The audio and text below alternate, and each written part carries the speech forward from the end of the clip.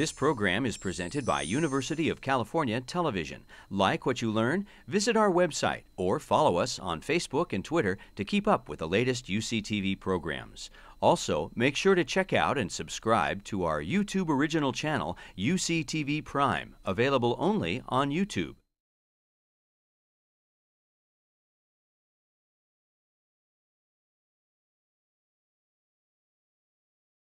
Good evening, everyone. Welcome to Science at the Theater, sponsored by the Friends of Berkeley Lab. My name is Jeff Miller, Head of Public Affairs at the Lab, and if not exactly your moderator for the evening, one of its many, many voices, as you will see. Uh, our topic this evening is technology, specifically the practical and inspiring technologies spinning out of Berkeley Lab that have particular pertinence to people in the developing world a new institute at the lab, the Institute for Globally Transformative Technologies, I know a mouthful, um, also called LIGHT, is helping to identify and speed into existence a variety of simple, powerful, practical, and creative inventions aimed squarely at the root causes of global poverty. Now, one of the truths we'll hear tonight is that 98% of the donated equipment is broken within five years, equipment donated in the developing world. So that you, will hear tonight uh, how Light is confronting that problem as well. It's not just about bringing things to the developing world, it's about the service model and a lot of other things in addition. So not surprisingly, this, we think this is Berkeley Lab at its very best. And on this stage tonight, you will meet a long cast of characters who are all playing a role in the race to save lives and improve the well-being of people everywhere. As always, we will follow tonight's program with a question and answer period. Uh, microphones are located here, here, and there are two upstairs as well. Uh, lastly, thanks to all of you who happened to go to the city uh, on October 22nd to the Herbst Theater to hear our two Nobelists, George Smoot and Saul Perlmutter, our most recent Nobelists, uh, discuss the fate of the universe with KQED's Michael Krasny. Uh, the video of that evening is available on our YouTube site, as is the video that we showed at the, uh, at the um, Herbst Theater event, uh, and that's called Looking to the Skies. This is the connection between the real, uh, the real connection between Maya astronomers and modern cosmologists. So it is now my pleasure to introduce the director of the lab's Environmental Energy Technologies Division, the man behind LIGHT, the Darfur Stove, and the recipient of many national and international awards for his humanitarianism. Please welcome Berkeley Lab's Ashok Gadgil.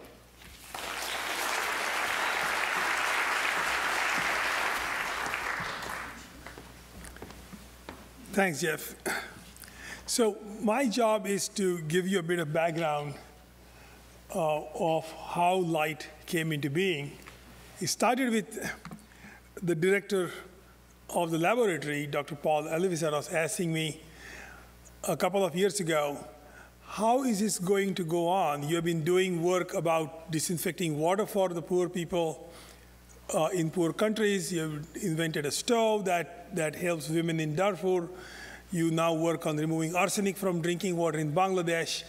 But these are your own personal passions, and how is this going to get institutionalized? How, how is it going to get continuity in a way that is organized and that taps into enormous intellectual horsepower at the Lawrence Berkeley National Lab? So out of that thinking emerged Light, uh, the Light Institute. And I'm going to just give as an example the kind of work that I was doing at about the time that we were thinking about how light should be structured, how light should tap into this intellectual horsepower of the Berkeley lab, and how we could go about making a change for the better for people who live on less than one or two dollars a day. So uh, as an exemplar, I'm going to walk you through uh, the, very quickly the, the work on cook stoves for survivors of the conflict in Darfur. My name is Ashok Gadgil, and what we are starting with is a map of Darfur, uh, Sudan. Uh, the Darfur conflict started in 2003. 400,000 people, uh, mostly men, were killed uh, the estimates vary. It's hard to get an exact count. The lower estimate is maybe 300,000. Higher estimate is little over 400,000. Uh, there were 2.7 million refugees that were displaced mostly women and children because it was mostly the men who had been killed. Uh, and these 2.7 million people uh, had their houses burned down, villages devastated, lands taken away, uh, and then they streamed into camps for uh, internally displaced people. Uh, this is what the camp looked like when we visited that back in 2005. This is a photograph from Otash camp. Each of those little huts houses a family that originally lived in a multi-room house. They had their own land and a meager existence as a subsistence farmer, but maybe with their own flock of sheep uh, and, and some land which they had for generations. Now they lost everything. They got packed into these shelters. They were given food by the United Nations World Food Program, WFP, but not fuel. And they would leave the safety of the camps to women, would leave the safety of the camps to look for fuel wood outside the camps so that they could cook for their families. As you can imagine, you do this in the middle of the desert. Very rapidly, there is an expanding zone of complete denudation around the camps, and very soon, there is no fuel wood within walking distance. This is what it looked like even in 2005. Now, in North Darfur, which is even more desertified, there is no fuel within a day's walk for 80% of the people. Uh, people have resorted, women have resorted to selling their food rations uh, to exchange some of the cash for buying fuel wood from other middlemen. And it has led to starvation, uh, replacing the risk of gender violence um, and mutilation for the women as they leave the safety of the camps. We ended up, and here is, here is a group of women returning after seven hours walk. That is the average duration of a walk every other day. And sometimes they carry their babies on their back. You can't see it very clearly, but that's a seven hour trek for the baby hanging on the back of the mom because there is nothing else, um, there's no relief there. So, uh, I was asked to figure out what to do about this. Can I do anything about this for my officer from USAID? And at that time, I didn't have an answer. So it, it was a, a, huge thing that, that hangs over your head. You all the time think about what can you do about something like this. It's so horrific. Uh, but I eventually discovered that these people cook on three stone fires and you see a three stone fire here in the, in the picture. Uh, it's literally three stones supporting a pot and a fire is lighted underneath. It's the most primitive way to cook. It's also the least efficient way to cook. Between 5 and 7% of the chemical energy in the wood is transferred as heat in the pot in this most primitive and most widespread way of cooking. But which also meant that maybe we could do something that allows them to keep their pots and their food and their culture and their way of cooking undisturbed, but figure out a way that allows them to cook with maybe half the fuel or one third the fuel. So that's what we started to do. Uh, in 2005, uh, they were using $1 of fuel wood daily in terms of the traded value of the fuel wood. Uh, women were already selling food for firewood this is what we were doing in 2005 December, comparing side by side different stoves in Darfur, three stone fires with number of stoves we took there because we didn't want to invent stoves. There were a lot of people who had done the stoves, so we just took some stoves which we thought would be useful. And our job would have been, hey, this is a stove that works.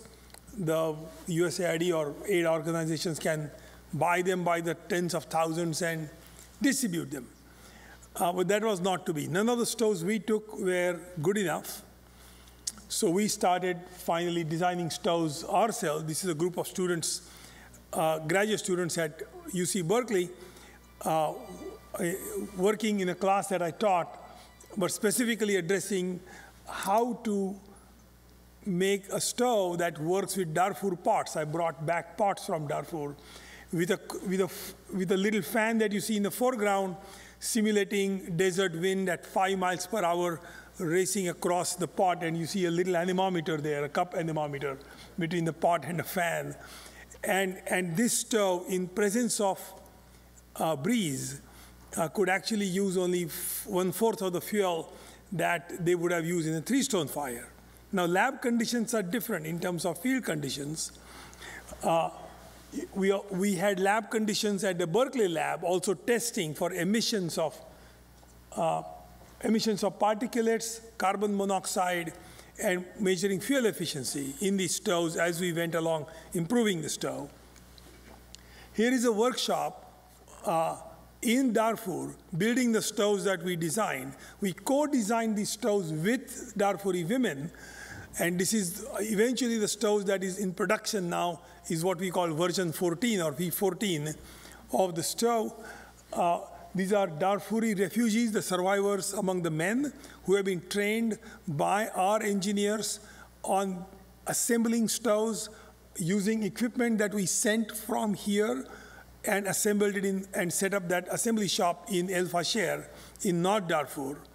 And now they can build essentially this team of 12 people can build one stove every five minutes, as opposed to a mud stove which they would do, a fuel efficient mud stove, which wasn't that efficient to start with, which would take them three days to build one stove. And that's, that's the difference of doing science and engineering and technology and bring it to bear on something that is as basic as uh, cooking, but something that is as heartrending as uh, women exposed to sexual violence. So these are the stoves built in that assembly shop. Uh, now, as we speak, we have more than 22,000 of these stoves in the hands of women in Darfur. We have 10,000 more flat kits, IKEA style flat kits, which have been shipped and which are waiting in Port Sudan to clear customs. So, in six months' time, they would also be assembled, and we would have 32,000 stoves in the hands of uh, women cooks in Darfur. Uh, the total number of stoves needed in Darfur is only 400,000 and we would have gotten close to 10% by end of next year.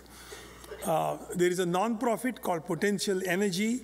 Uh, you just go to potentialenergy.org, and that has lots more material about what has come out of the Berkeley lab and is making a huge difference to the lives of women and girls in Darfur. So, on the 8th of February uh, this year, at White House, there was an announcement that this kind of work is now being turned into a systematic, organized way to take our best minds in science and engineering technology to address problems at the bottom of the pyramid, to do the last mile of research that otherwise never gets funded because nobody votes for that kind of funding.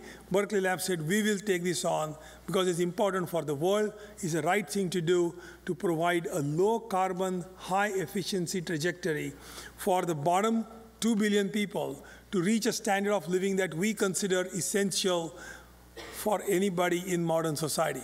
So that's what's announced uh, on the 8th of February.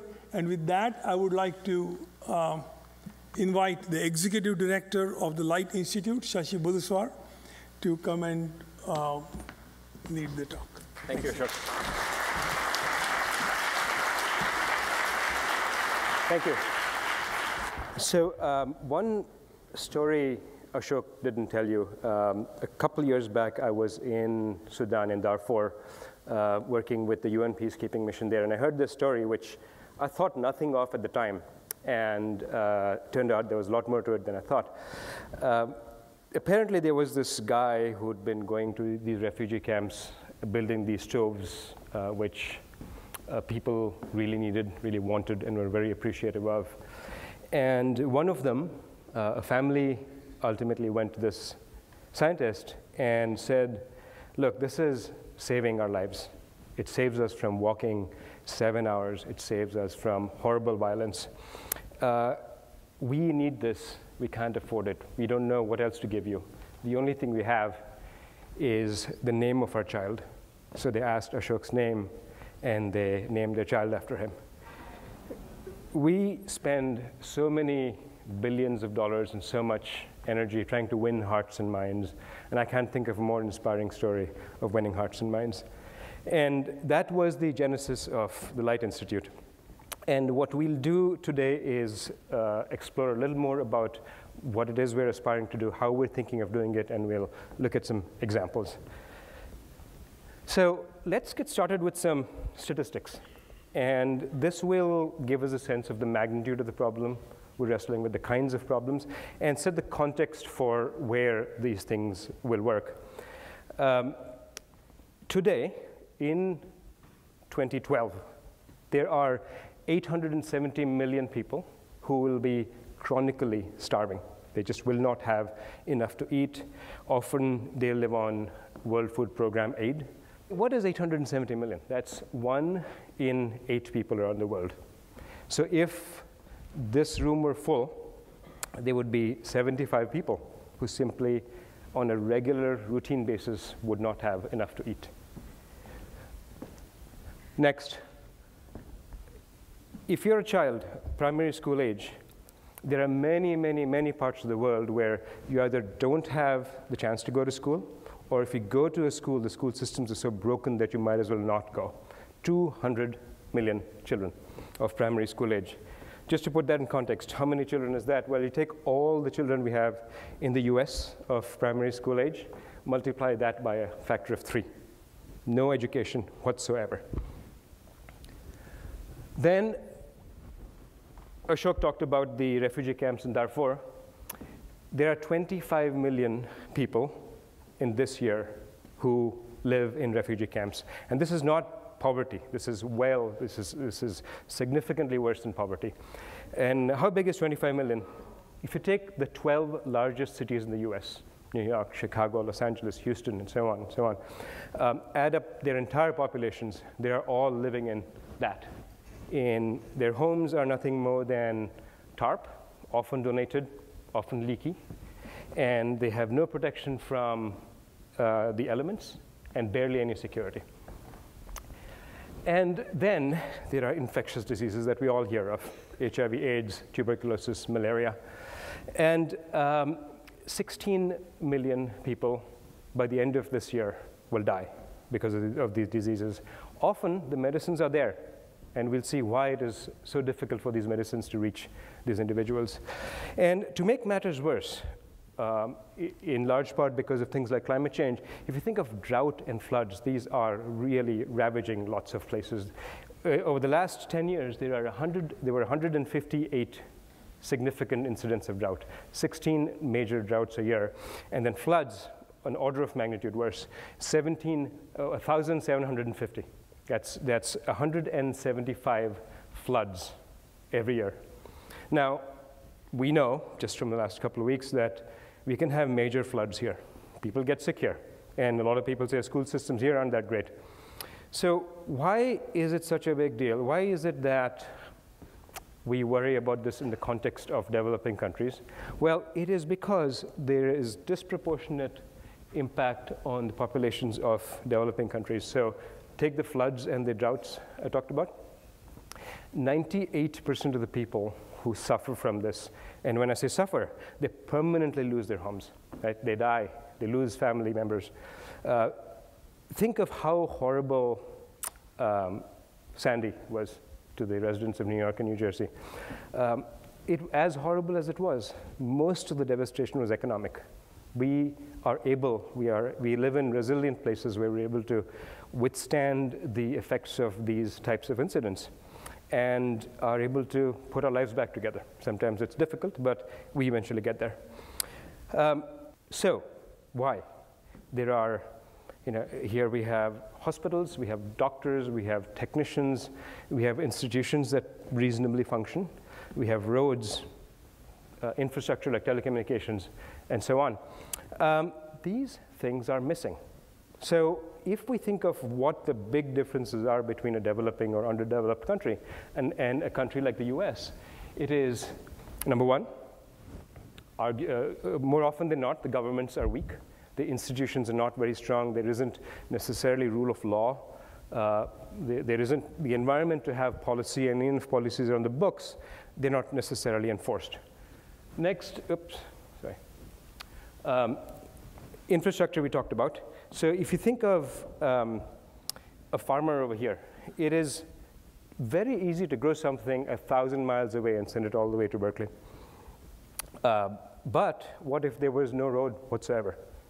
You, how, how could you, if you're living uh, a thousand miles from the nearest city, what hope do you have of growing anything and selling it to anybody?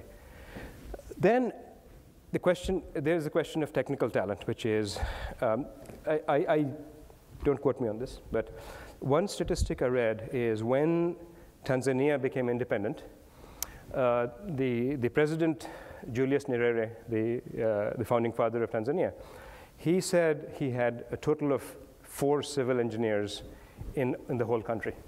And the country was expected to build using four civil engineers. I might be off on that, but it was not any more significant than that.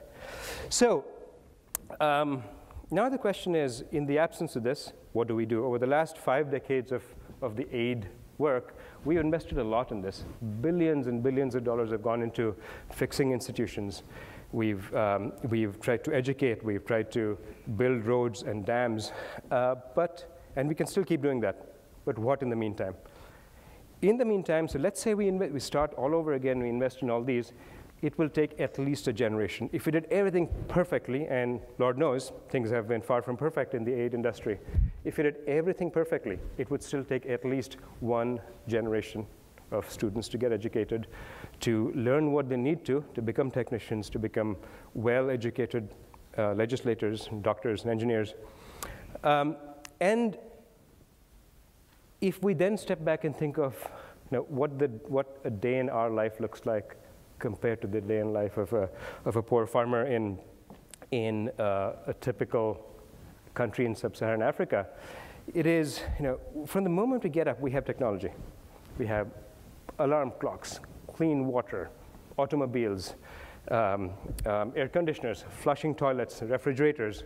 And there is so much we take for granted that simply does not exist. It almost, when you, when you go to some of these countries and you visit some of these communities, it really feels like they're living in a different century. What's worse is that if you think of R&D, research and development, every day something new gets announced that makes our, our life um, so much easier. And Lord knows, you know, every day there are a thousand iPhone apps, which we don't need, but we get anyway. Um, but no one's doing R&D for developing countries. They certainly don't have the budgets. If they had the funding, they don't necessarily have the, the uh, scientists and engineers. And we're not doing anything significant for them. So that's where the idea of light came in. The Lawrence Berkeley Lab has 3,000 plus of the world's smartest, most accomplished scientists and engineers. 13 Nobel laureates in its, in its history, and we do $800 million of research every year. Granted, not all of it is relevant to developing countries. So the Higgs boson, you know, as, as groundbreaking as it was, there's a lot of theoretical stuff that isn't necessarily relevant, but um, a significant portion of it is. And before I took on this job, um, I used to work as an advisor for various UN agencies and governments and NGOs and foundations. And I would get enormously frustrated, even depressed at how ineffective that whole industry is. Um, sometimes it feels like the whole aid industry is an employment program for, for people living in, in uh, developed countries. And um, then uh, we got a call from the Berkeley lab saying, hey, look, we've done this thing with, with the Darfur stoves. We did this thing with, uh, we, will hear about uh, an ultraviolet UV uh, water a purification system. But we'd like to really institutionalize this. We'd like to see if we can, what if we, this is, this is stuff that people like Ashok, out of literally the goodness of their heart, had been spending nights and weekends doing. This was not their day job. And the question on the table was, what if we actually created an institute? What if we worked with these 3,000 scientists and engineers and really used the muscle of the lab? What could be done with that? And um, we shopped this idea around. We spoke to well over 100 people in the, in the ecosystem. And the response was phenomenal. People, the, the word, the phrase game changing gets thrown around often. That was thrown around quite a bit in, the, in that conversation because um, everybody felt that things, for the most part, are done on the margins. We can, anyone can show up and hand out medicines. It's not that hard to go build a tent. But to really bring game changing technological breakthroughs is difficult. And what does that mean? So if you think of something as mundane and unpleasant as a toilet, right? Um, we, what does it take to actually have a flushing toilet? It takes a sewer system. It takes water. And we flush our waste with drinking water. Most people in most developing countries, actually, the water they drink is so much worse than the water we use to flush our waste. Um, there is no electricity, um, no infrastructure, and even if all those things were there, the populations don't necessarily have the financial, economic wherewithal to buy things. So, what does a breakthrough look like? First of all, it has to work in the absence of electricity, reliable electricity anyway. Number two, it has to be hugely affordable. Number three, it has to be robust. And even if we do all of those things, uh, it's not like there's a Walmart that we can send these things to. Right? There is no mechanism for distributing these things. And so that's what we have to do to come up with breakthroughs. And so our model is, um, our motto is we identify, we discover, we develop, and we deploy scientific and technological breakthroughs for sustainable global development. And um, we'll, over the course of the evening, we'll see how this motto manifests itself in actual technologies. But it's, roughly speaking, got four parts to it. Number one, we have to know what we should be focusing on because there are a thousand technologies out there which look very nice but ultimately don't solve the problems. Um, more on this later. Then once we figure out what we want to do, we look in the lab. And I said $800 million buys you a lot of research. So we see what research has already been done. And recognizing that the research here is all for US-centric needs for the most part, anyway, um, we have to figure out what research is almost done and then just do the last mile of research. And think about the leverage this offers because uh, we, will we'll, uh, we'll talk about that lovely box. It's a surprise. I won't tell you what it is. You'll find out soon. But, but we'll, we'll spend a, a few seconds talking about why we were able to develop that with as little money as we were able to. Um, so leverage, which is all this research has been done for, for purposes here, can you tweak a little way and apply that to solve these significant problems in other countries? Then, um, once we do the core technology, chances are that uh, product A in, in one country will be used very differently from another country. It'll be used very differently in a city versus a village. And it's very important to engineer and design these products so they're actually they're, they're serving the needs of the users. They're robust, they're, they're inexpensive, um, and we also have to think about the, the repair infrastructure, right? So there's got to be, you know, if, let, let's say we come up with the perfect widget for something. What use is this if it breaks down in a year and no one's there to repair it? So we have to think about all of those things. And then finally, we have to figure out how to deploy this. Um, we all know by now that the old model of let's just give those poor people these technologies, let's donate them, that has failed over and over and over again. So we have to be very creative, very thoughtful in how we actually deploy these using business models that make sense for the particular context. So that's, our, that's how we're loosely thinking about, about uh, the Light Institute. And we've been around, so uh, we, despite, these, the announcement was made in February, but we hit the ground, I think in April. So it's been about eight months we've been in business. And here's what we've done so far. First of all, there are a few interesting, really interesting technologies that we know are important and interesting. There's huge demand for. And we we have a small portfolio of, of those projects, and we'll, we'll see four examples of that today. Then we're stepping back and saying, what are the, what really matters? What are the most critical scientific and technological breakthroughs that are required for solving these problems. And um, once we do that, we'll have a good sense of what matters, what doesn't matter, where we should focus. So with that in mind, let me now uh, invite my colleagues, Zach Friedman and Lee Navashi, who will talk about the, the 50 most critical breakthroughs required for sustainable global development.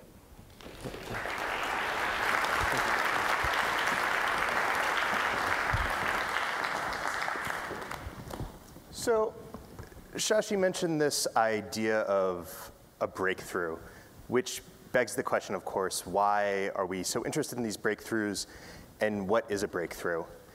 And the answer, at least for me, is there's tremendous power in these breakthroughs. Global development is, is extremely complex, and there are many problems within development that technology is simply not applicable to. But there are many, many problems where technology is a key component of the solution. And oftentimes what we see within these problems is that when the right technology is developed, we can have a massive and rapid impact on people's lives. Prior to the mid-1950s, for example, hundreds of thousands of people around the world were affected by polio, which is a viral infection that infects the spinal cord, the brain stem. It can affect higher functioning within the brain, such as motor control. And this was pervasive, it was everywhere the idea or the image of a child who needed an iron lung to breathe was something that was iconic. In the mid-1950s, we developed an oral stable vaccine that allowed us to take this disease that we couldn't even control in the US, that was one of the wealthiest countries in the world, and effectively eradicate it in many of the poorest places across the globe.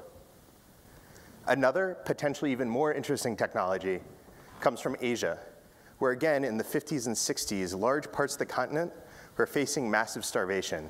It's, it, it's almost amazing to think about when today we think of Asia as this global growth engine. But for a long period of time, large parts of this region were actually dependent on food aid. That was solved in a large part to breakthroughs such as what we're looking at now, which is a semi-dwarf variety of rice, which essentially creates much more grain per seed and also has a shorter stalk so that the stalk itself doesn't bend over and break under the increased weight of the grain. It was breakthroughs such as this that enabled the Asian Green Revolution and essentially allowed the continent to double its food production in the course of just a couple decades, which is tremendous, essentially eliminating food security for a large portion of the population. Now, it's easy for us to look back and say, okay, this was a really important breakthrough, or this was also a really important breakthrough. But as an institute, as LIGTT, we're forward facing. We want to know what we need to be investing in. And we want to know what we tell our partners, oftentimes who are funders who are interested in funding this type of research. So for example, should someone be focusing on a low-cost treadle pump that allows you to pull water from a river to spray on fields? Or should we be investing in development of drip irrigation technologies so that we can more effectively spread the water across the fields? Should we be developing microbes that will help decompose fecal sludge in open sewers and urban slums? Or should we be developing a new generation of toilets that will prevent that fecal sludge from ever getting into the environment? Should we be developing personal or household water purification systems? Or should we be focusing on technologies that work at a community scale? For us as an institute, our focus is on having the greatest impact as possible, which means one thing. We're focused on the problems. And this, this might seem very straightforward, right? If you want to solve something, you focus on understanding what that problem is. But it's not necessarily the nature of all scientific research. If you think about it, oftentimes the way that research institutions are set up, there are incentives for scientists to know a lot about broad areas, but really focus on individual areas, and that's where they push, and that's where you create science, and that's where you create these insights. The implication of this is really interesting because oftentimes when we find science and technology being applied to global development challenges, the solution was actually developed before the problem was really understood, or in often cases before the people developing that solution even understood that the problem existed. So this is something that we're very cognizant of at LIGTT, and it's a paradigm that we refer to as hammers looking for nails. When you're a hammer, everything looks like a nail. Um, and, and, and it's amusing, but it's also challenging because from our perspective, this is part of the reason why oftentimes technologies that are high potential never quite live up to their expectations. So instead, we go back to the problems. And for us, we've defined the problems in eight core areas with three themes that cut across each of these. And what we do is we essentially look at a single area and we unpack it and unpack it and unpack it and unpack it until we get down to individual addressable problems. And only then do we say, what is a technology that can solve this issue? So to illustrate a little bit of what this is like, let's look at one of the most important challenges facing the global health community today, which is maternal health. It has been said that the most dangerous thing an African woman can do is give birth. So what is the problem here? A thousand women die in childbirth every day. That means that by the time this presentation is over, 50 women will have died. One in 39 of all African women will die during pregnancy or childbirth, and most of these deaths are from causes that are treatable and avoidable. So how do we solve this? Solutions can be based on policy, behavior change, financial inclusion, and technology. For the purpose of sticking to LIGTT's mission, let's focus on the technological interventions. So how can technology address the issue of maternal mortality? When talking to doctors, they'll highlight the need for antenatal care, the importance of getting mothers into clinics, as well as a host of technologies like the portable ultrasound, hemoglobin detectors for anemia, uh, uterotonics, sterile delivery kits, and blood pressure monitors. But with so many options and recommendations, where do we begin? It is essential to start with the problem. And if the goal is to reduce the number of maternal deaths, the obvious question, of course, is what exactly is causing these deaths? Well, here's our answer. While there's no single dominant cause of maternal mortality, postpartum hemorrhage is overwhelmingly more than one third accountable for maternal deaths. Let's take a closer look. Postpartum hemorrhaging at a closer glance is clearly a very complex issue with its own entire set of underlying causes. In this case, however, we do have a single dominant cause, which is uterine atony. Uterine atony occurs when the uterus fails to contract enough to reduce bleeding after the delivery of the baby and the placenta.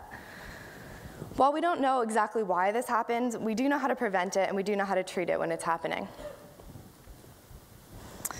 There's a procedure called active management of the third stage of labor. The third stage of labor is from the time of the birth of the baby to the delivery of the placenta. This is a method we use in the US to virtually eliminate all deaths due to maternal, all maternal mortality due to uterine atony.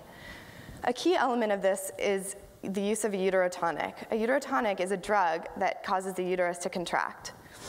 In the US, we use synthetic oxytocin, which is extremely effective. Oxytocin is a naturally occurring hormone that the body releases towards the end of pregnancy in order to stimulate the uterus to contract, facilitate labor, and reduce bleeding. However, in the case that the body fails to, to release sufficient amounts of natural oxytocin, synthetic oxytocin can be easily administered to stimulate uteral contractions and reduce bleeding and prevent excessive bleeding or uterine atony. However, there's a catch. Synthetic oxytocin requires refrigeration, and as you may know, refrigeration is not a resource that's readily available in the developing world. As you may also know, the majority of women in the developing world do not give birth in hospitals or clinics, but rather at home. In fact, two-thirds of women give birth at home. Here we have a refugee home in a refugee camp where some of our colleagues have actually worked, and this could be a typical scenario for where a woman would give birth. So as you can see, there's no, there's no option for electricity or refrigeration, thus making synthetic oxytocin not exactly a realistic option for the majority of women in the developing world. So what is it that we need? What we need is a thermostable uterotonic that can be administered easily with, little to minim with minimum to no training. This uterotonic could be a stable version of oxytocin or another uterotonic drug. Misoprostol is a, is a currently existing drug that's a viable option to be used as a uterotonic. However, it's controversial because it can also be used for medical abortions, and thus in some countries faces, faces substantial political opposition. So at the current moment, the best bet for combating maternal mortality is another stable uterotonic that can uh, stimulate the uterus to contract and prevent postpartum hemorrhaging and uterine atony. This, to us, is a critical breakthrough for global development, and this is how we go about approaching our, our, in, our analysis and identifying critical breakthrough technologies. So if, if a stable uterotonic is what comes out of this analysis, if looking at what causes mortality and what are the subconditions and what are the issues that then drive that, has led us to this one technology. The question is, what about all of these other things that have come up? So a portable ultrasound is an interesting technology, but it doesn't necessarily address any of the major issues that we identified earlier, such as postpartum hemorrhaging or hypertensive diseases. It does have an interesting property in that it helps bring women into clinics, but from our perspective, that's not enough to make this one of the most critical technologies that needs to be focused on. Blood pressure measurement devices are a little more challenging. Understanding a mother's blood pressure is a key component to diagnosing and then treating for hypertensive diseases. But there are two problems with just looking at a blood pressure measurement device on its own. The first is that it's strongly dependent on strong antenatal care, which as we know is not available and not, um, not available within the systems in most developing countries. The second is that hypertensive diseases are actually incredibly challenging to treat. Even in the US, the definitive treatment for mothers with extremely high blood pressure is to deliver the child. If our basic care here is so dependent on delivering a child, even if it's premature, to save the mother's life, you can imagine that there's very minimal options for mothers in emerging markets where they simply don't have access to the same type of health care. Sterile delivery kits are not as important in our perspective. Yes, it is important to have clean kits, but as we saw at the beginning, infections only account for about 8% of maternal mortalities. We do see this come up again when we look at neonatal mortality, where clean delivery kits are an important reason to prevent infections. But if you're thinking about maternal mortality specifically, delivery kits are just not as important. The last and potentially most challenging point is looking at hemoglobin detectors, which test for anemia. And this, similar to a blood pressure measurement device, is really most effective when there's strong antenatal care, which we know there isn't. What's even more challenging is it's uh, complicated to understand the link between anemia and hemorrhaging.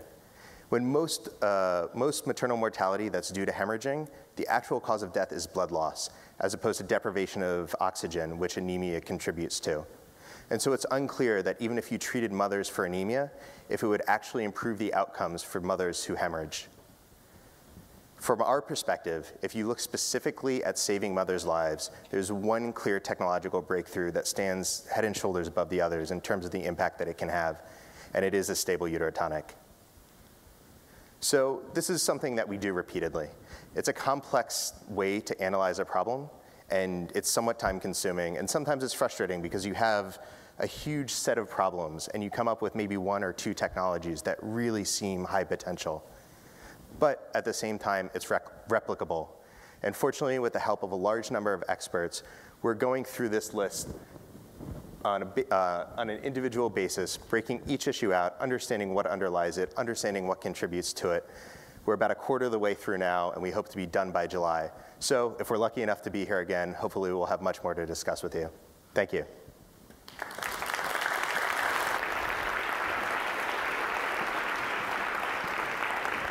Thanks, Zach. Um, so the, the reason we're doing this is we could simply go ask people, ask experts, what do you think the most important breakthroughs are? And what we found is that the, you know, the answers are not often correct because you know, there's always this, this, the syndrome that Zach talked about, which is a lot of experts like their own hammers. And so it's really important for us to push the boundary in terms of, well, let's step back and really unpack and unpack and unpack. And it's okay to cross out some sacred cows. Um, and uh, without doubt, uh, some of our findings are not popular. But what we're finding is that no one's actually done this kind of analysis before. And so once they see the fact base, once they see the analysis, and the logic, what we're finding is that a lot of the experts are coming around. And what we're hoping to do with this is two things. First of all, as Zach mentioned, the, the general level of understanding of this, this question, which is what are the most important breakthroughs, is actually not very high. And so part of this, will, will, will uh, one objective is to use this to to coalesce and catalyze the ecosystem. So a number of organizations like USAID who are really interested in this because they want to use this to shape how they fund. Um, and, and so what we'll do with this is an annual, so once we identify the 50 breakthroughs, we'll have an annual state of the breakthrough um, event where we say, what have we learned? Have we developed anything new? What are the technical challenges we have overcome and need to overcome next time around? And once we solve the technology problem, how do we think about the deployment? What have we learned there as well? So um, we're finding that there's a lot of excitement and a lot of interest in this particular exercise. And then what does it mean for us? So once we identify the, the, the 50 breakthroughs, think of a timeline. Some of the stuff can be done ne by next year. Some of the stuff is 10 years out. And so these, so if you think of these 50 bubbles representing these breakthroughs, they'll be stretched all along that timeline. And let's say you draw a line in the middle, five years. Uh, frankly, if something is a year out, chances are someone else is going to do it. We don't need to do it. We don't need to, uh, you know, it, it doesn't make sense to use, it's, it's an overkill to, to use uh, a national lab's uh, capacity to to do that. So we're focusing on the stuff almost at the other end of the spectrum, which is if something is really, really important, will save a lot of lives, but is 10 years out, can we accelerate that? Can we make that happen in two years? Frankly, nobody, you know, I've said I've, I've served in, uh, in my old jobs, I've served institutions all over the world. I very strongly believe that the Lawrence Berkeley Lab is, is the single largest repository of R&D to solve these problems and to accelerate these breakthroughs. Um, um, what I'll do now is I'll go pick up that box, bring it here and tell you what it is, and then introduce our, my, my, my colleagues. Um, feel free to guess what this is. Oh my gosh, great guess. So this, my friends, is the world's first portable, solar-powered vaccine refrigerator. And to tell you why it's important and how it works, uh, Jonathan Slack and Reshma Singh.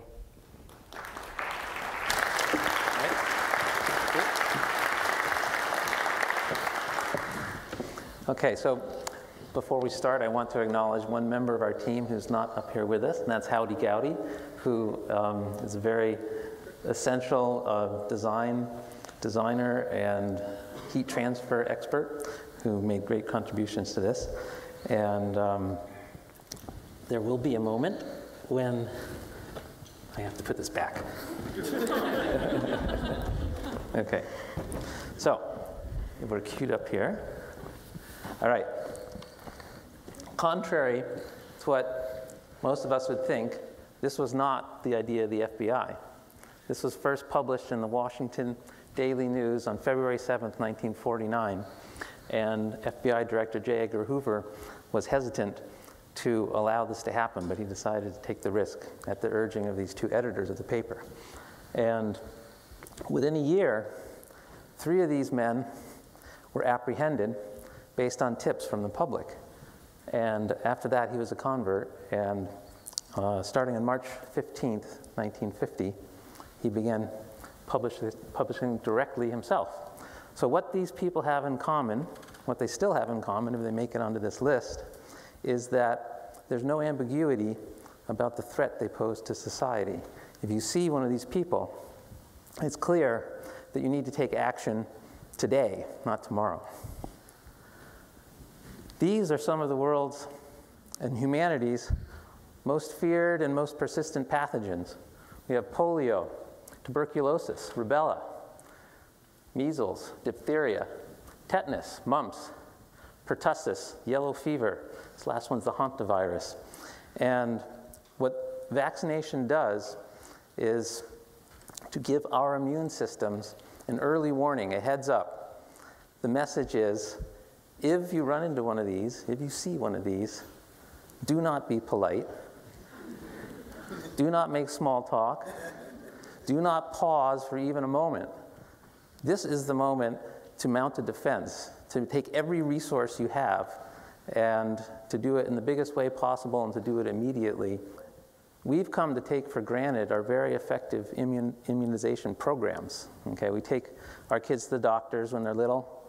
We take them every, every few months, and they get a whole bunch of shots. And by the time they're five years old, we pretty much have passed the point of anxiety about the health of our children. So this got me curious. I called up the Berkeley Department of Public Health, and I was fortunate enough to, fortunate enough to reach Dr. Jose Ducos, and he invited me down. We went through his old record books. He didn't even, he had actually, at the, as a result of this call, he discovered some books that he hadn't actually found before. And up here you can see this is Berkeley, California, all right?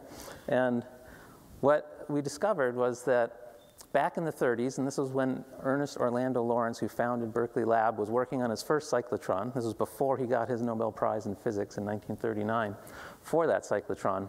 At that time, the beginning of summer which most of us think of as like really exciting time, especially if you have kids, to get out of school. The beginning of summer had an edge of terror to it that we can't imagine today. In June of 1933, 42 people in Berkeley came down with polio. 812 people had pertussis. That was one out of 100 people in the city of Berkeley, which had a population of 82,000 at that time. And um, most of these were kids, and for the kids, it would be a life-threatening illness. But in many parts of the developing world, that kind of burden on the community and that kind of suffering of people who still get these diseases, it persists. And Reshma is going to tell you about that.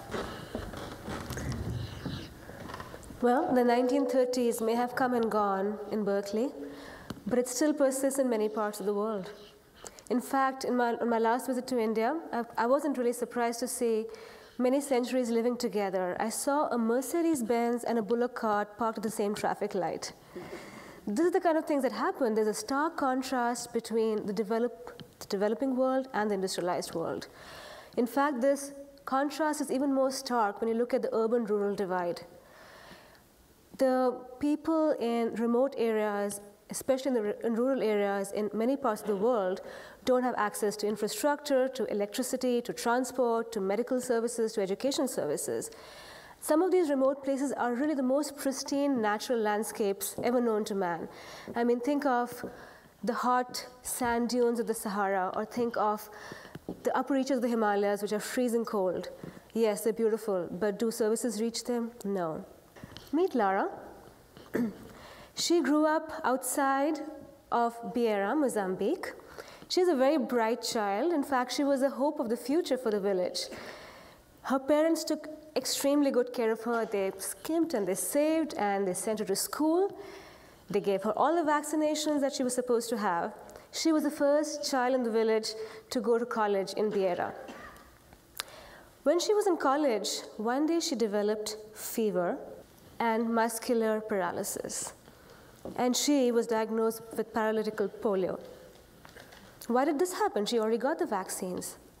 Well, Lara's parents vividly remember the day when Lara was about three years old and they took her to the clinic. It was actually a makeshift mobile clinic under a tree in Beira. Her mother had actually taken, with great difficulty, she'd taken time off from work they waited for the healthcare worker to come. He did arrive on his bicycle with an ice box with the, with the polio vials uh, in his ice box.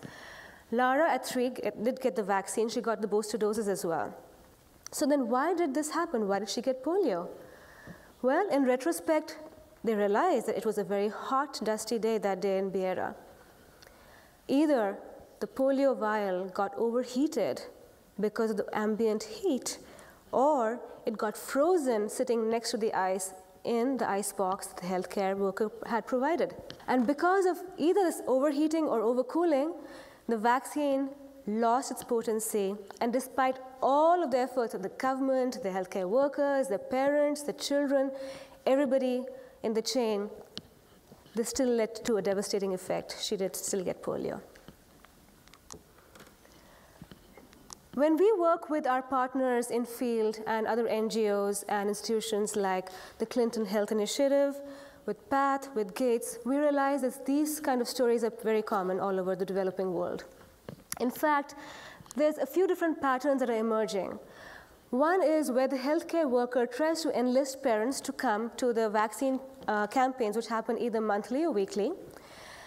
The problem is that surveys have revealed that Parents, even though they come to the vaccine campaigns, often find that there's unavailability of vaccines, and this is mostly because the vaccines have not been kept in a thermally safe environment, so they don't come back again. The other pattern that's emerging is that the healthcare worker will trek for miles with his ice or her ice box, find babies out in the village or in the forest. You can see this gentleman is helping a woman put a load of firewood down and inoculate the baby. This is the kind of ice box that he carries. And then the baby's vaccination is tracked by putting a little marker on his nail. That's the kind of tracking that you have. This is the use case scenario which actually shows how the vaccines are taking the journey from the manufacturer all the way to the end, end of chain. So let's just look through the journey of a small vial of polio costing about 11 cents, and it takes about 11 months of journey to go from the national level storage depot through the, through the state, through the division, through the uh, public um, health outpost, and then add to it some more months before it reaches the final end of chain.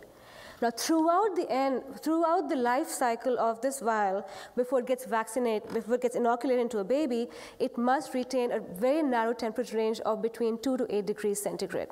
And this is called the vaccine cold chain. And because of these kind of transportation and this kind of end use scenarios, we have to very carefully figure out what it is that will take the vaccine all the way from lab to jab. So the WHO actually substantiates um, this kind of user case scenarios.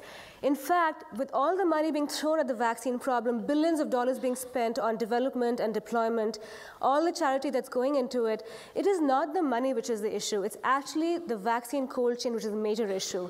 44%, almost half of the issue arising, the biggest barrier to dissemination of the vaccine program is the immunization system and basically the cold chain. So the LIGTT vaccine team at the lab decided to look at the critical specifications required for end, for the last mile, where you could actually take a portable, robust, lightweight vaccine refrigerator and make sure that the thermal stability remains constant. And this was a challenge the LIGTT vaccine team took, uh, took upon, and Jonathan will walk you through that. So I'll take a few minutes to tell you about a little bit about our design process. What you see here in this image, this is um, Howdy and me at our brainstorming old-fashioned chalkboard. So the design process started out with some really easy to grapple to grasp parameters. We knew we had this two to eight degree temperature range that we had to stay within, okay?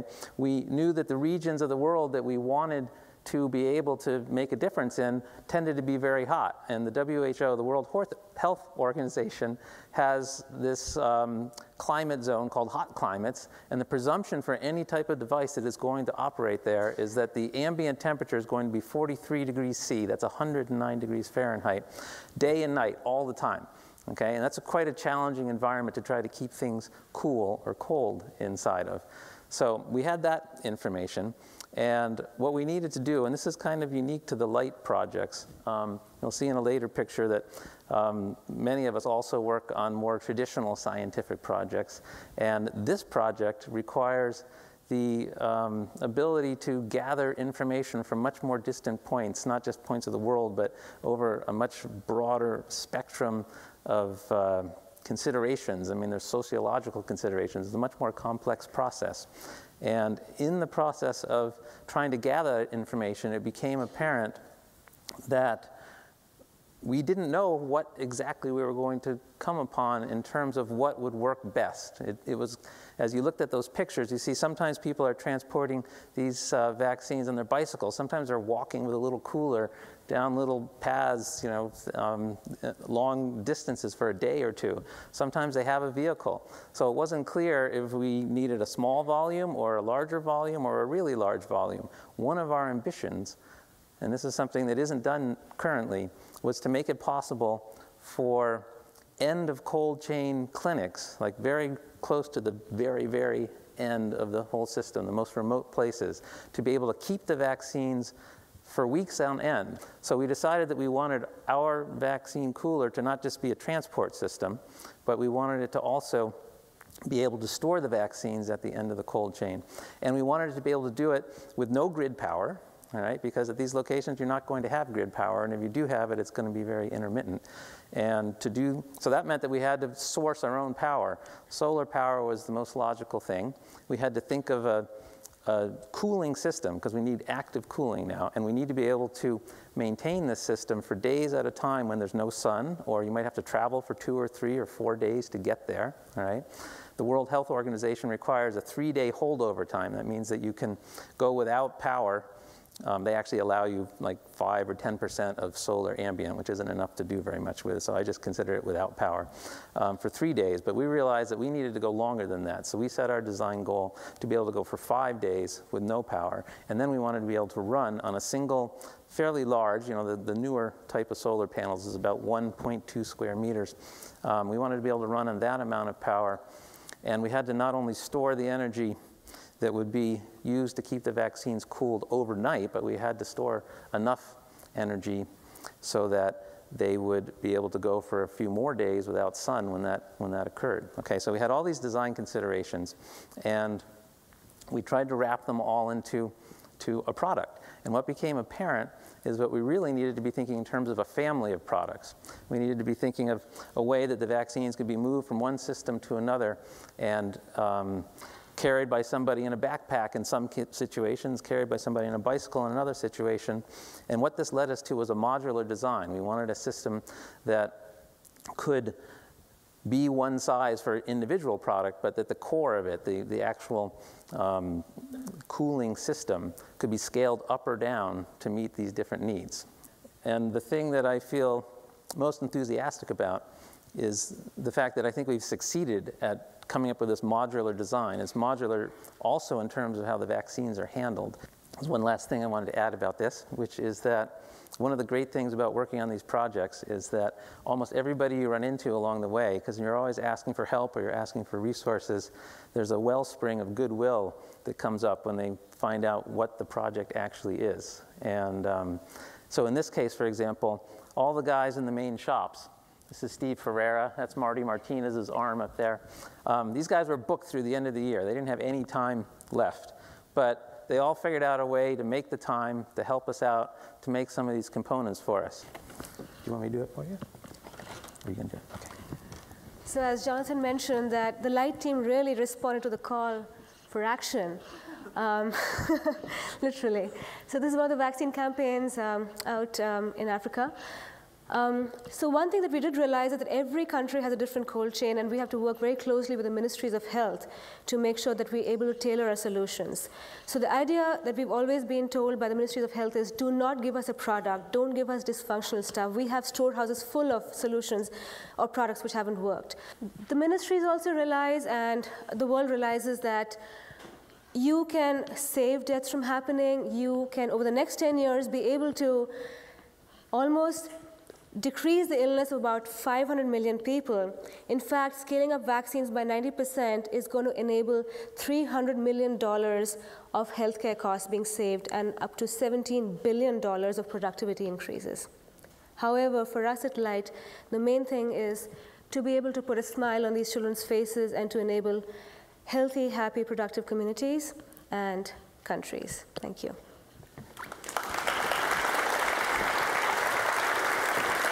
Thank you. Uh, two very quick things.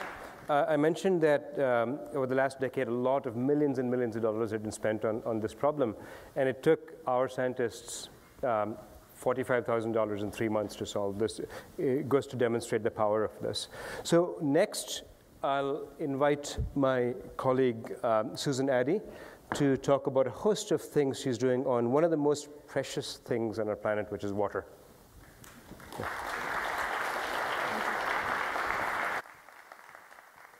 Good evening.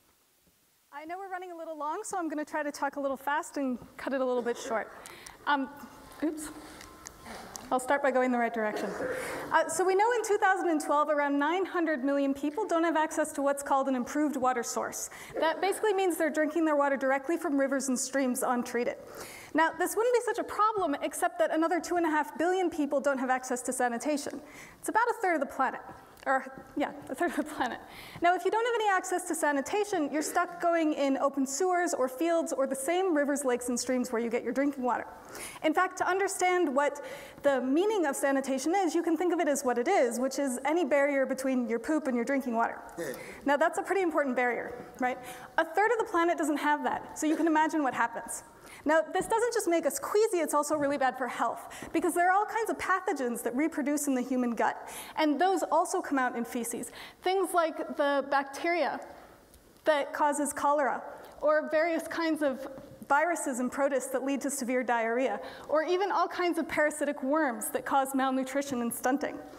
Now, these come out in the water when you don't have that barrier. You also don't have a barrier between these and your drinking water. This is mostly felt by children children under five. Every year, around 2.2 million children die of diseases that could be completely prevented with adequate water and sanitation. It's about 6,000 a day. So in the last 24 hours, the number of children who died of these preventable diseases could fill 12 theaters the size of this one. It's quite a lot. Now, keep in mind we're making a lot of gains. Two decades ago, it would have taken 27 theaters to hold the number of children. So some things are being done. It's a good statistic, right? You've been hearing all these bad statistics. You can hear that some things are being done. But the number is still too high. And things are failing too quickly to really make a difference. So this leads to the question of why. Why are things failing? Why is it that in 2012 we can put somebody on the moon many years ago, but we can't solve water and sanitation for a third of the planet? Now, this is a question that's really interesting to me, and it's a really important question to answer. It turns out that a lot of really talented and smart people have tried to solve this problem. And they've come up with a lot of really innovative solutions, but those solutions are failing too fast to make a difference. For example, these are all decentralized water treatment systems that I've come across in India. Every single one of them works really well in a lab, and every single one of them appears to be very appropriate for the environment in which it's in. Every single one of them was defunct in less than a year. Now, I didn't try to find defunct systems. I literally couldn't find one that was working. Now, there are some that work, I'm told. I, am sure that it exists, but I haven't found any. So why are these all failing? Well, let's look at a couple of just quick examples. This is a filter system that was put in by a government. It was given to the village for free, and the government hired, as part of the implementation, somebody to come around every six months and change the filter media. The community used the filter, six months went by, the filter clogged, nobody came around.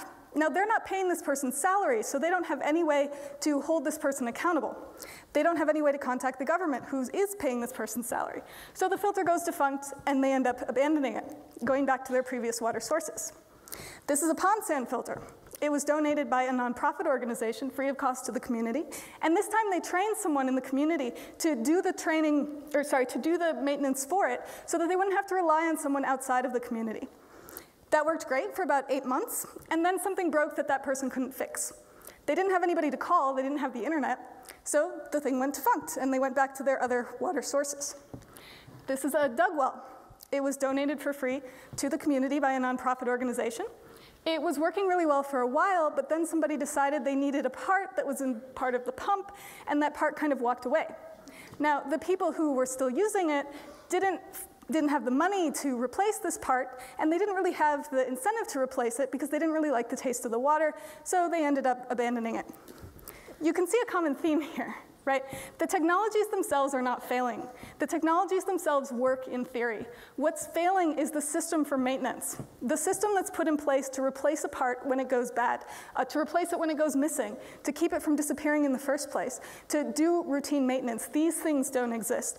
And that's what's happening to all of these filters. So we decided to think about things a little bit differently we decided to look at the system of supporting the technology as being as important or even more important than the technology itself. So imagine you live in a village. And imagine that instead of a donated community system, I build for you a clean water store. Now, you don't have to do any maintenance, you don't have to use it if you don't want, but anytime you want clean water, you can go there and pay for it at a price you can afford. Even though you make less than a dollar a day, you can afford the price. The government owns the infrastructure, the local government, the government that you elected and that you might know personally, a private company runs the system. Now, you don't know the private company, but they have access to global supply chains, they have access to professional quality control, and most importantly, they don't get paid unless they produce clean water that you're willing to pay for. So there's some accountability there. This is the model of something called Water Health International. And this is a picture of one of their centers. And they sell clean water for about two cents per 10 liters, which you can afford if you're making less than a dollar a day. And they deliver it to your door for four cents per 10 liters, because people don't like to carry water. If you've ever carried water, you know that this is very, very true. Now, they operated uh, they started a few years ago. In January, they opened their 500th center, and they now claim 5 million customers per year, per day. Sorry, 5 million customers per day. Now, at a number like 5 million, you can start to make a dent in that 1 billion people without access to clean water that I mentioned earlier. You can't make a dent with donated systems that are failing, 80% failing within a year. So this is something that's working.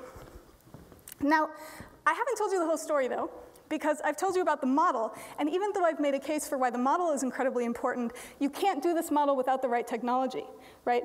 You can't make this work unless you have a technology that operates so cheaply that you can sell it at a locally affordable price and still pay for the maintenance, and still fix it when it breaks, and still make a nice building, and still pay for quality control, and all of these other things, right? Uh, so that technology didn't exist in the mid-90s. And that's when Ashok Gadgil, who you saw speaking earlier about the Darfur stove, started working on this nights and weekends. And what he came up with was this.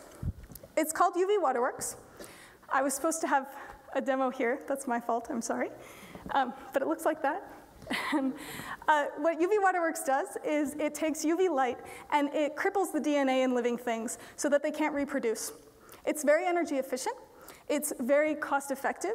It's very effective in the sense that it meets international standards and kills all the pathogens. And it's very elegant because you don't have to add any chemicals to the water and you don't have to add a, a filter that might clog. It's also very cheap. It costs about five cents a ton or 0.005 cents per liter.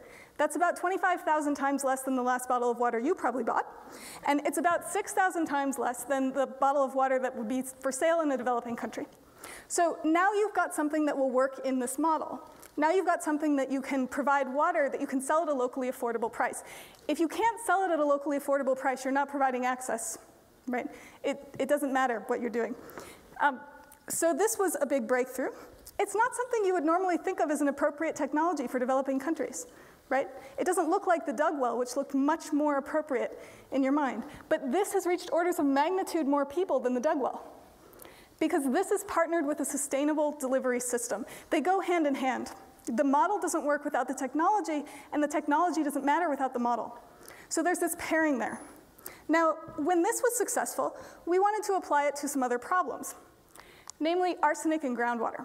It turns out that in a lot of developing countries, especially Bangladesh and West Bengal, they don't get water out of rivers and streams. They use hand pump tube wells like this, and they collect groundwater. Now, in many areas of the world, there are natural deposits of arsenic in the groundwater. This is the same arsenic you've heard of as a poison. It's the same thing that's in rat poison. And the reason it's a famous poison is because it's colorless, tasteless, and odorless. So right now, around 60 million people in Bangladesh and West Bengal are drinking water that has a poison they can't see or detect in any way. It's been called the largest mass poisoning in human history. And it's been going on for about 20 years. Now, when you drink small amounts of arsenic for a little while, um, you start to get lesions on your hands and feet. And those lesions can crack and form gangrene, which can lead to amputations, which in these areas tends to be a little bit ad hoc, so they have a high level of complications. Eventually, you can get internal cancers, which you can't detect because you don't have any of the modern detection systems that we have here. So that leads to a high level of fatalities. So this is a very insidious poison. It's an insidious problem that builds up over years. This is literally an invisible thing. Nobody can see it. Um, we want to use a similar model to water health, but we want to make one key change. We want to partner with schools. The reason for this is because schools are a center of education, and education is going to be key for this problem. This isn't replacing river water with clean water that also tastes better. This is replacing clear, tasty water that you get in your backyard for priced clear water that you pay for 10 blocks away, right? Or get delivered to your house for a fee. So we have to inform people, people have to understand the importance of it to create value. And they should be able to decide if it has value for them or not. But school is a good way to teach what we know about arsenic and why it's important to use different methods. But again, just like with the UV Waterworks, this model isn't going to work unless we have the technology to go with it. UV Waterworks doesn't work because it kills living things and arsenic isn't living. So we're going with something called electrochemical arsenic remediation, or ECAR. ECAR is based on the fact that if you put steel in water, it rusts. If you put two pieces of steel in water and you run a little current through it, it rusts a lot, and it rusts really fast. It turns out that rust likes to absorb arsenic, and rust likes to gather other pieces of rust together and make big pieces of rust. So we put a lot of rust in the water. It mops up all the arsenic and grows into a big particle. When the particle is big enough, it sinks to the bottom, and we can take the arsenic-free water off the top. It's a very nice, elegant solution. It also costs a fraction of a cent per liter to operate. It's very low maintenance. It's very robust. And the supply chain is literally mild steel that you can get anywhere plus a little bit of electricity, which you can get from a solar panel or a battery. So it works really well. We've been developing it for about six years. This is a 600 liter prototype that just a few weeks ago we installed in this school outside of Kolkata. And I'm going to be visiting it in about a week, and it's got excellent initial results. It's producing water that's maybe 60 times the World Health Organization safe limit to water that's below the safe limit. And we're going to run it for a few months and see how it goes. And you can follow it on our website, which is gadgillab.berkeley.edu. I don't know if they're going to get that later, but we'll get it to you or you can find me afterwards. Now, the next problem that we want to tackle is brackish water. Brackish water is water that is not as salty as seawater, but it's too salty to drink. It tends to occur in areas where freshwater meets saltwater and in some kinds of groundwater, and it's going to become much more important as we continue to deplete our fresh groundwater resources and as sea level rises and saltwater intrudes into the groundwater resources we have. In fact, it's going to become really essential that we be able to treat brackish water and use those water resources. We've come up with a concept called capacitive deionization, it's in the conceptual stage, and we're working on the same kind of model that you've been seeing throughout, building a technology that can operate so cheaply and robustly and low maintenance that it fits inside a sustainable delivery model. And I'm going to stop there because we're a little short on time. So thank you very much.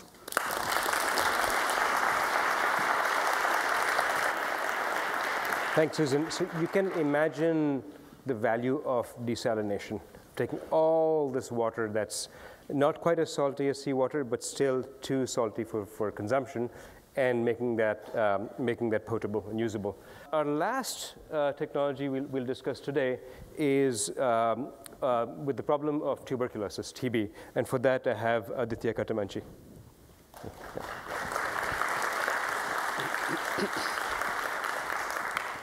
All right, so thank you all for coming and for paying attention for uh, us going over time. So today I'm going to talk about tuberculosis. Tuberculosis is a very old disease. In fact, it's been, up, been with us ever since humans have been on this earth. It's a disease that affects the lungs. It's caused by a bacteria. And people who develop tuber tuberculosis usually present with several weeks or months of cough, fever, weight loss, and night sweats. As the disease, progresses, it starts to destroy the lungs, so patients often develop, uh, they often cough up blood, and it's quite dramatic.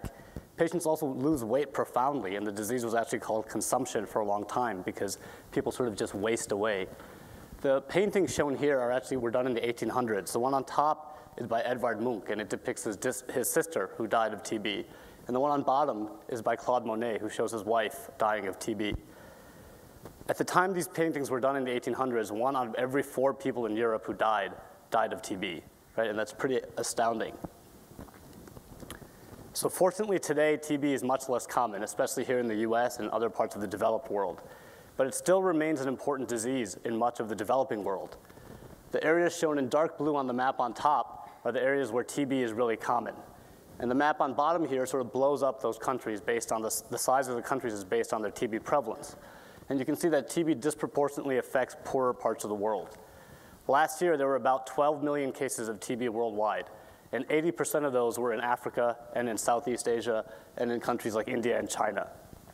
There were about 1 million deaths from TB worldwide, and again, 80 to 90% of those were in sub-Saharan Africa.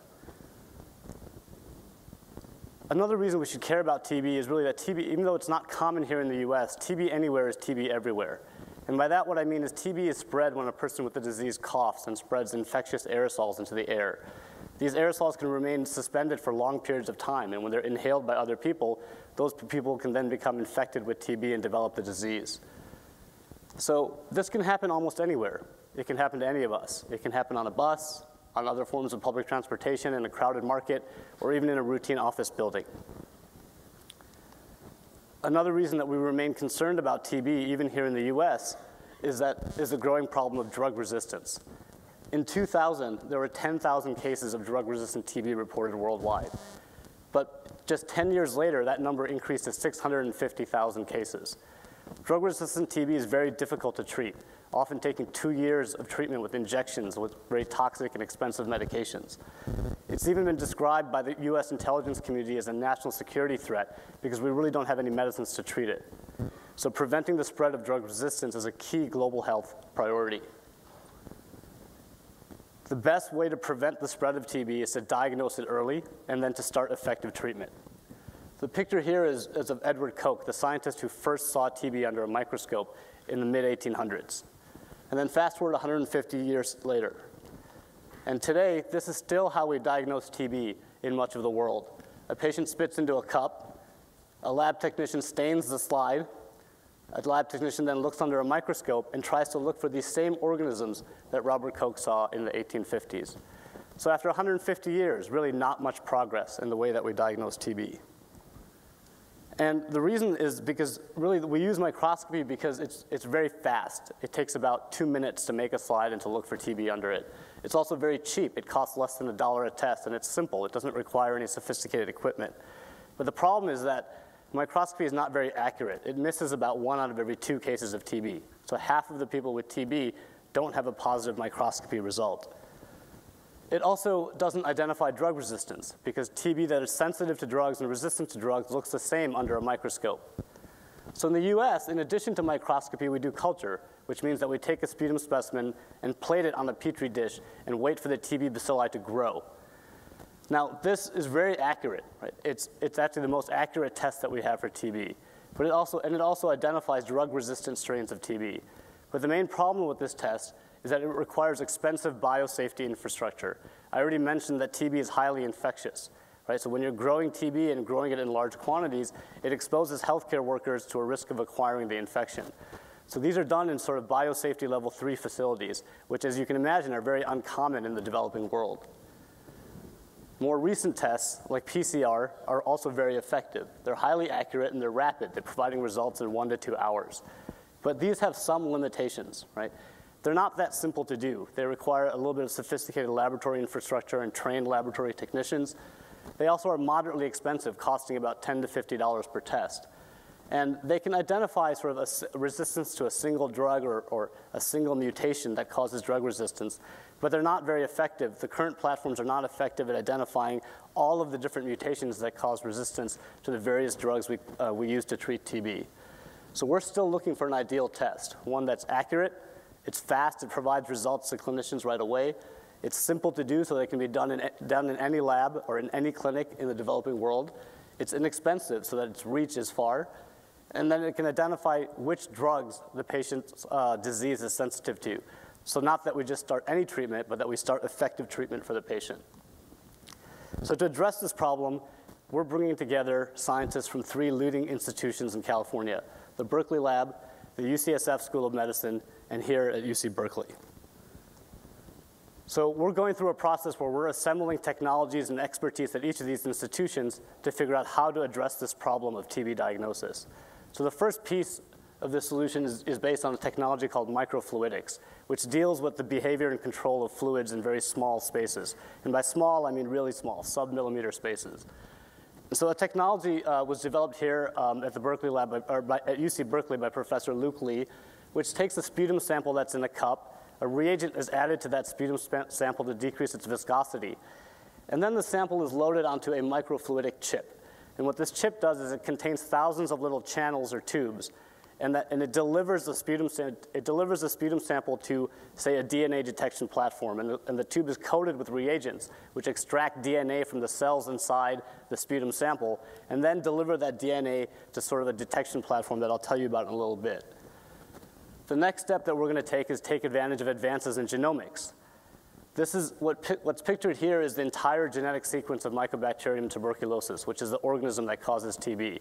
This was first discovered or first reported in 1998. At our lab at UCSF, we've now sequenced hundreds of TB isolates from, uh, from clinical isolates that were collected from patients enrolled in studies around the world. So what this allows us to do is to compare the genetic sequence of all the TB strains that we have to find targets that are common across all the different strains in the world. And then we can also compare these strains, um, the sequences of, sequences of all other organisms, right? So we can really identify genetic targets that are specific for Mycobacterium tuberculosis and then are present across every TB strain. We can also then take drug-sensitive and drug-resistant strains and compare their gene sequences. And then we can figure out what are the mutations that cause resistance to all of the key anti-tuberculosis drugs. So the next step, once we have targets to go after, is then to develop a platform for detecting those targets. And for that, we're going to take advantage of a technology developed at the Berkeley lab by, initially by Professor Gary Andersen.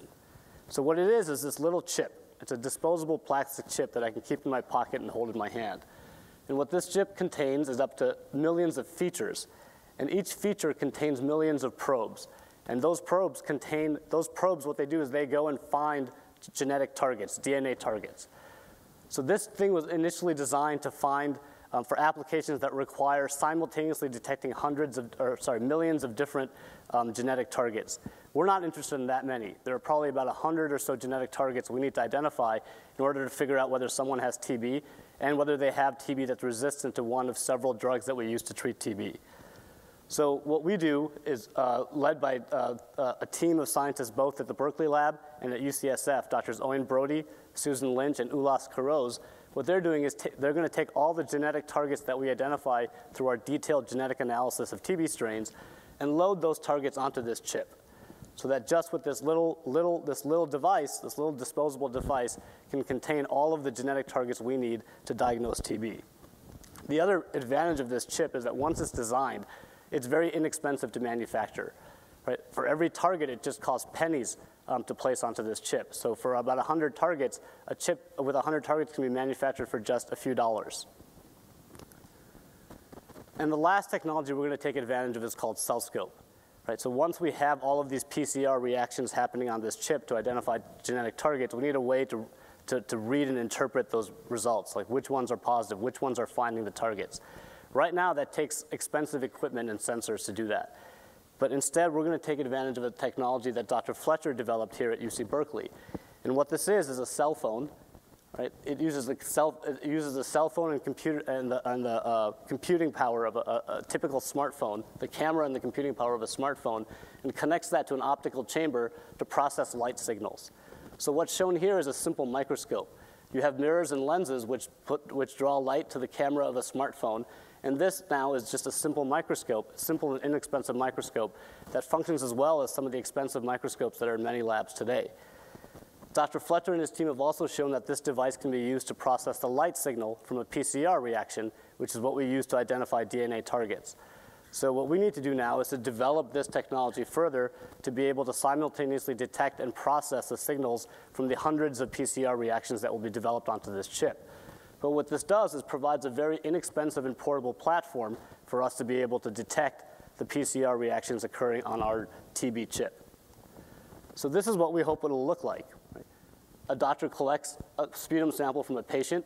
A simple reagent is added to decrease the viscosity of the specimen. The specimen is loaded onto a chip, which delivers, extracts and delivers the DNA to this little microchip. And the microchip is placed into a simple reader based on a smartphone. Right? And then within an hour, a doctor and a patient knows whether he, has he or she has tuberculosis and whether that tuberculosis is resistant to key drugs. So these are the types of technologies and innovations we hope to bring to this problem of tuberculosis to find a diagnostic that can really help any patient in the world know whether they have TB and to start effective treatment right away. Thank you. You have the chip. So this chip, this chip, it's got this tiny space here it can identify, if you put water in it, it can identify one of 8,000 bacteria. If you fall sick in a developing country, you have, you have fever, you have no idea what's wrong with you. Do you have malaria? Do you have TB? Something else? Unclear. And while you, you're waiting to find out, you could die. Can we take this and repurpose it so that with a single test, you can actually figure out which one of those diseases you have? So you've seen a sample of the kinds of things we can do, we're hoping to do. Um, this is the world's largest repository of, of science like this. We have our work cut out for us. So, thank you.